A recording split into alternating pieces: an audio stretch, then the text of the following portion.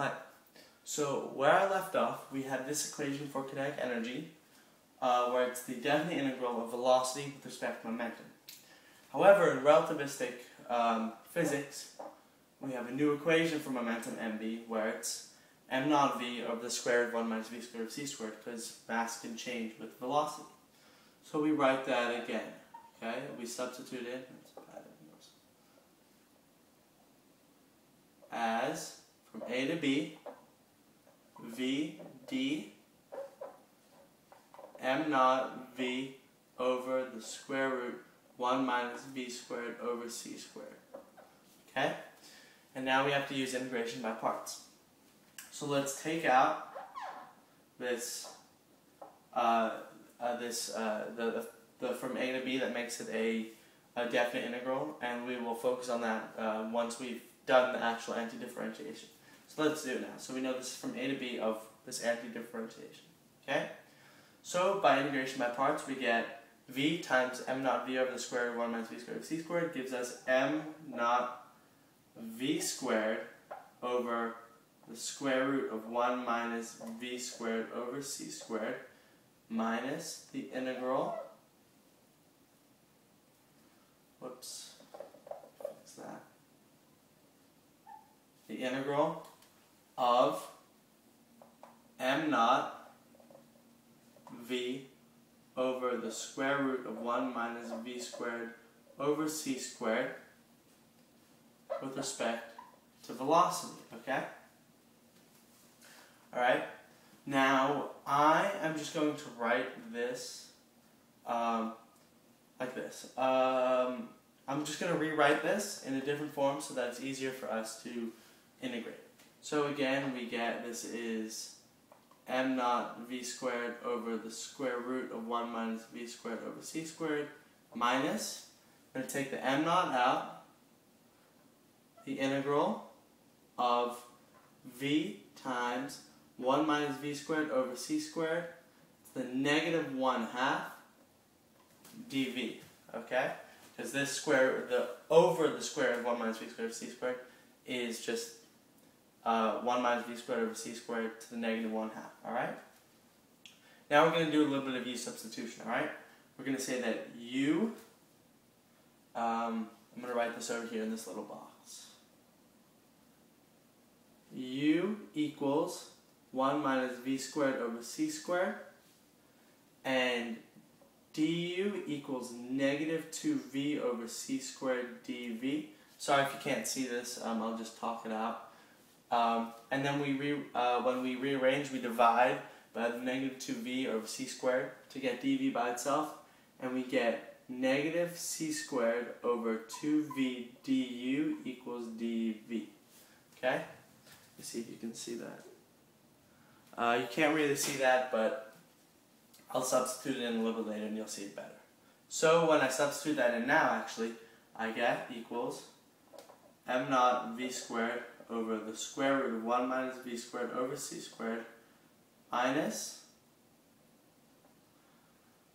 the integral, or m naught times the integral, of v times u to the negative 1 half. I substituted in 1 minus v squared c squared um, for u, and I just put the negative uh, 1 half power in the parentheses because this is just one variable uh, multiplied by, when I substitute dv, I get negative c squared over 2v du. Alright? Now these v's are going to cancel. I'm going to get equals m naught v squared over the square root of 1 minus v squared over c squared minus m naught times the, no, sorry. Um, what I'm going to do is I'm going to take out this negative c squared over 2, which becomes plus m naught c squared over 2 times the integral of u to the negative 1 half du. Alright? Now it's much easier to integrate. I get m naught v squared over the square root of 1 minus v squared over c squared plus, okay, when integrate, in, this, I get m naught c squared over 2 times the integral of u to negative 1 half du becomes u to the 1 half divided by 1 half becomes multiplied by 2, and these 2's cancel. And we get, finally, write it down here, m naught v squared over the square root of 1 minus v squared over c squared plus m naught c squared and u to the 1 half simply becomes the square root of 1 minus v squared over c squared. Okay? There we go. Now just erase this.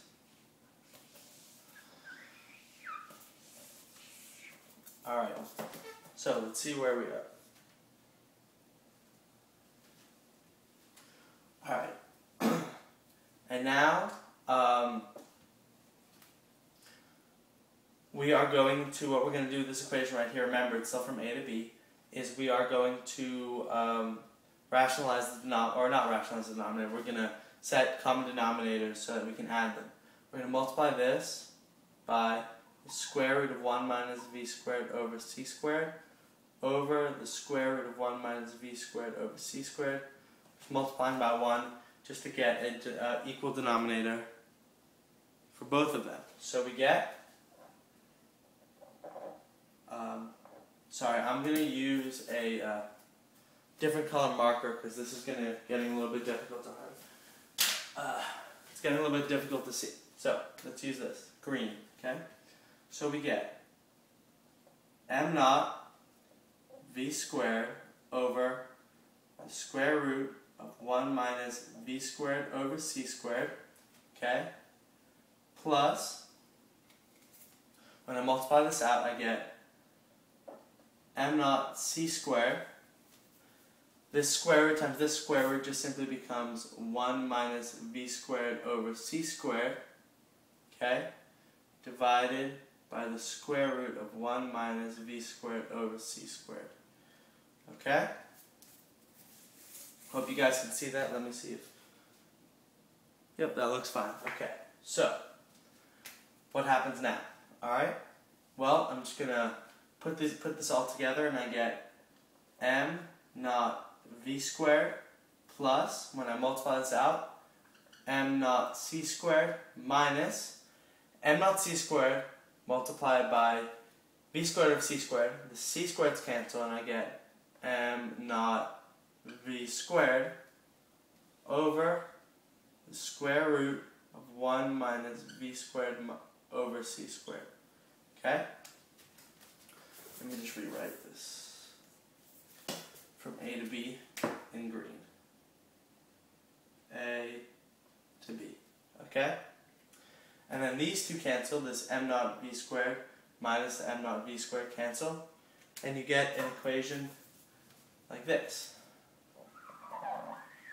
That this integral, right here, gives you from a to b m naught c squared over the square root of 1 minus b squared over c squared. Alright, and in this case, what this a and what this b are going to be um, are going to be velocities, because that's what's going to change here. Rest mass doesn't change, c squared doesn't change, but only velocity changes. And we are going to make it from um, rest velocity of 0 to final velocity of v. So this uh, definite integral now becomes m naught c squared over the square root of 1 minus v squared over c squared minus m naught, and I substitute this v squared here, c squared over the square root of 1 minus 0 squared over c squared. This becomes 1 minus 0, what square root of 1 is 1, and we simply get that kinetic energy, let me write it down here, kinetic energy equals m naught c squared over the square root of 1 minus v squared over c squared minus m naught c squared. Alright? Now this was the equation that led to Einstein deriving um, equals mc squared. Because what this means is that, um, let's think of a, of a point particle, okay? We have a point particle that um, uh, gets, say, say we have an electron, alright, that gets struck by a photon. And the electron now absorbs the photon, we know this from, from chemistry and physics, absorbs the photon and begins to move very quickly. Well, what does that mean? Um, that means that all of the energy in the, or, or this newfound energy that the electron has is kinetic energy, okay? Um, or, or it's, um, it's, it's, yeah, so it's newfound energy. The energy that it gained from the photon is uh, transferred into kinetic energy for the electron to move, alright? Now let's look at this equation. We have some energy value minus another energy value, okay? To get kinetic energy. When the velocity is zero, this just becomes m naught c squared minus m naught c squared, and we get um, simply uh, zero for kinetic energy. So what this equation is basically saying is we have a, uh, well when, when that electron gets struck by the photon, its velocity changes and it gains some energy. Basically what, what this equation again is saying is that you're doing some energy value minus another energy value. What you're doing is the um, is the the particle's total energy minus its rest energy. It gives you its kinetic energy. Think about this way: if um, you if the uh, electron um, gains energy from this photon, all right, and starts to move quickly at a faster velocity it's now going to have a new mass based on uh, the equation we have m equals m naught over the square root of 1 minus v squared over c squared. It's going to have a new mass um, because its velocity is now increased. Where did this mass come from? Well, the answer is that the energy that the photon transferred to the electron is not just energy, but it's also mass. Energy and mass are the same thing. So looking at this equation, we have final energy minus initial energy, okay? So kinetic energy equals, or not final minus initial, let's say total energy minus rest energy, okay? This is ET minus E naught, alright? So Einstein simply got rid of this part of the equation and just said that the total energy of an object equals its rest mass times the speed of light squared divided by the square root of 1 minus v squared over c squared. Alright? That the overall energy of a particle, or anything, equals its rest mass times the speed of light squared over the square root of 1 minus v squared over c squared. We know, however, that m naught over the square root of 1 minus v squared over c squared is simply an object's apparent mass times the speed of light squared. And this is how Einstein got his equation for E equals mc squared, okay?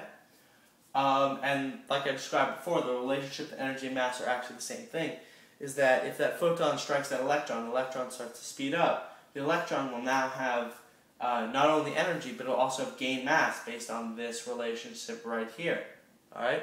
Where did that mass come from? It didn't come from the photon, because the photon has no mass, but the energy that the photon was carrying has an equivalent mass that seems to be gained by the electron as it accelerates, or not as it accelerates, but as it travels at a new velocity. So, as, um, so in this respect, we can see that energy and mass are the same thing and they're related by E equals mc squared. If uh, the photon struck the electron and it um, it gained a certain amount of energy, you divide that energy by the speed of light squared, and you would get the apparent mass that the electron seemed to have gained. Similarly, if you know the apparent mass that it was gained, you multiply that it had gained, you multiply by the speed of that squared, and you get the energy that it must have gained from that collision. And this is Einstein's famous equation, E equals mc squared. Thank you very much.